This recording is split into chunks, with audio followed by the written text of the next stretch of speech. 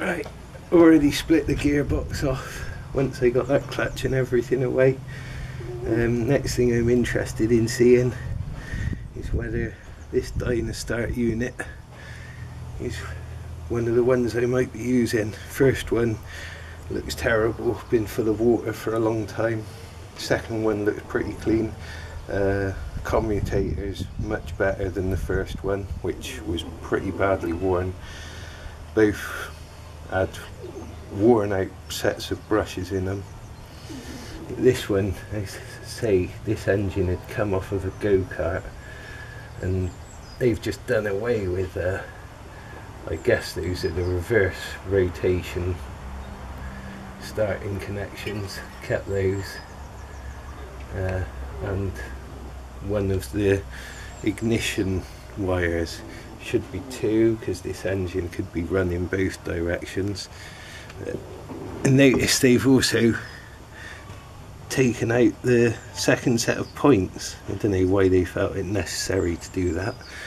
Uh, of course the second set of points to enable the timing to be correct for the opposite rotation running.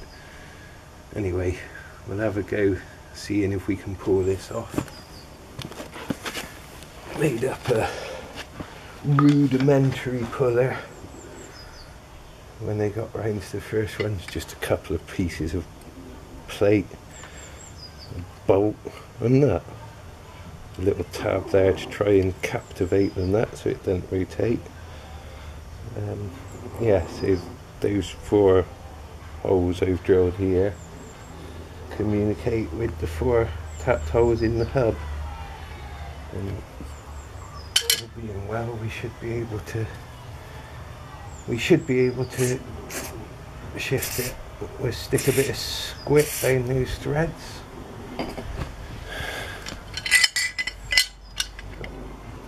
Brass screws. So if any damage is done to a thread it will be to my screws rather than to the engine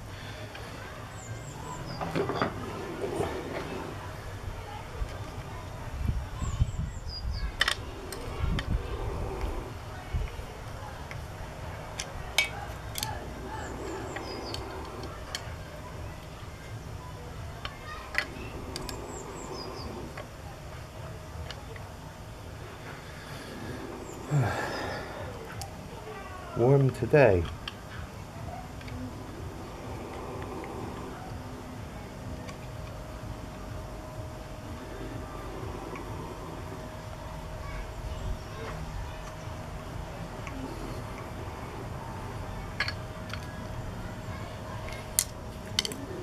Quite unusual to hear all the voices out and about.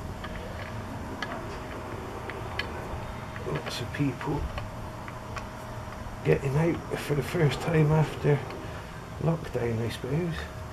Nice bit of a break over Easter. A nice bit of sunshine, so let's all get out and spread a bit of COVID love.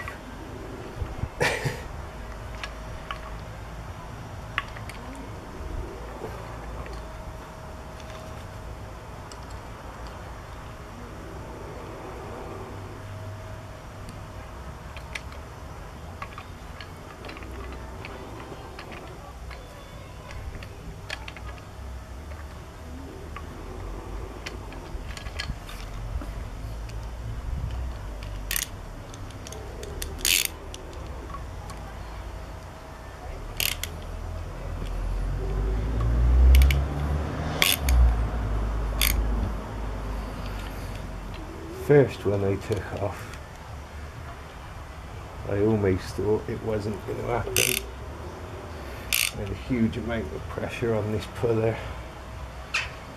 Use the bolt a tap in the middle, try and shock it off, but it just didn't happen. I thought that was the end of the job. And they give it another fraction of a turn, put a lot of pressure on it but all of a sudden it did yield. Second one was a bit more of a pleasant battle. quite easily won. Wound a fair bit of tension onto that bolt and then uh, gave a tap with the hammer on the bolt to shock shock it all and sure enough it popped off. Let's hope this one does the same.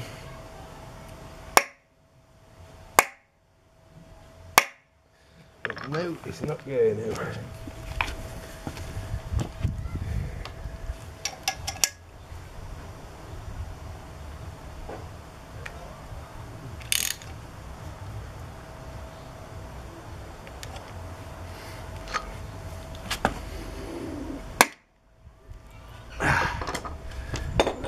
felt good. Right, let's Oh,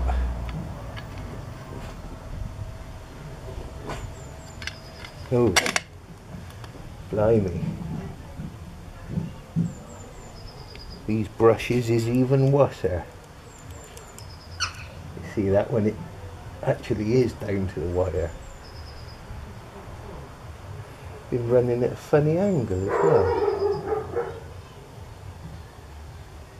I suppose he's come out so far brush holders no longer captivating it properly and is cocked over at a funny angle. Other than that, windings look tidy enough. Commutator showing very little wear might be the one I end up using.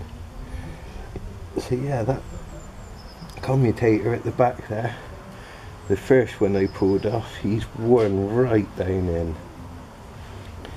But that engine, assuming it is the original engine to the car, has done 40,000 miles. It's quite a lot on a small machine. Yeah, so that armature has potential.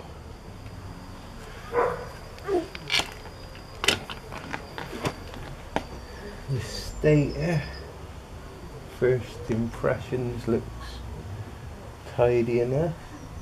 Brushy, brush is shagged. I believe I can still get hold of them easy enough. That's not too much of a worry until the point I come to order them and say, oh sorry, that's the one part we don't have. Hopefully that doesn't happen.